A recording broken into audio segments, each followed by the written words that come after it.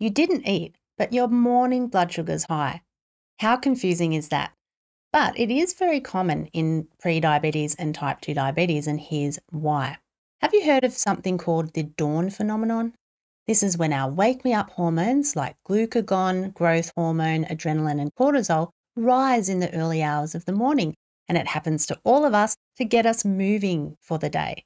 The thing is, those hormones also trigger the liver to produce glucose. So your liver's creating sugar even when you haven't eaten. Your body releases insulin to try to get the blood sugar down, but in a state of insulin resistance, which is common in pre and T2 diabetes, your body can't get that blood sugar down the way it should.